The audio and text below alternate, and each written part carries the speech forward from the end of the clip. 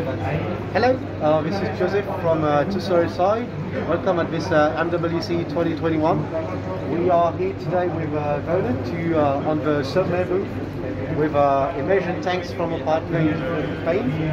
I wanted to present you the um, OCtoPus system that we built with high density uh, GPU systems. So these are the OCtoPus 1.4 in immersion cooling right now. So the idea is to have a OCP systems that can rely on a density of 4 GPUs per OpenU. So we achieve quite a nice density.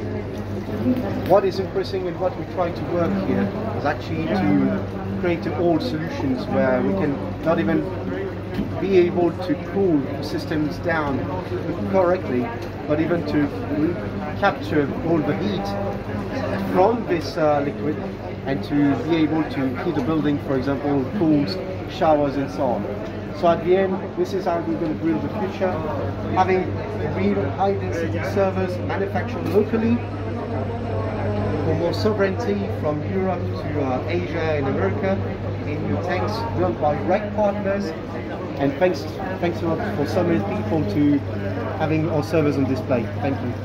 Have a great MWC.